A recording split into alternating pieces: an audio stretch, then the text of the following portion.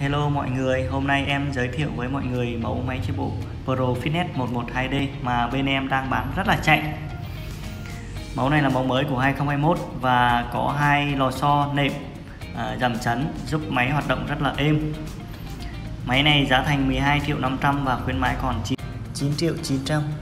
Ở hai cái tay nắm thì có thể điều chỉnh được tốc độ và tắt và mở và có khay đựng đồ, có jack cắm MP3, có cổng USB có khóa khóa an toàn, có thể cài đặt 12 chương trình bài tập, có thể cài đặt được thời gian, tốc độ, quãng đường.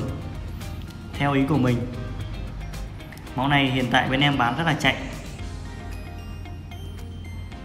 Màn hình hiển thị cho phép mình à, cài đặt thời gian, quãng đường clo và mình có thể cài đặt 12 chương trình à, bài tập cài đặt sẵn ở trên à, màn hình.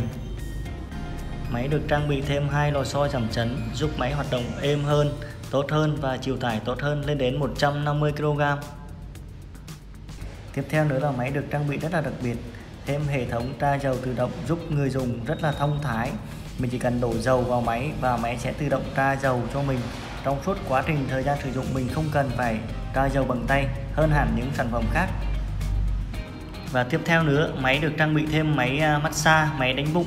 Mình có thể đánh bụng, đánh mông, đánh à, toàn cơ thể à, và trang bị thêm khung tập cơ bụng giúp cho mình trong quá trình tập mình có thể giảm được mỡ bụng nhanh chóng và không bị nhàm chán.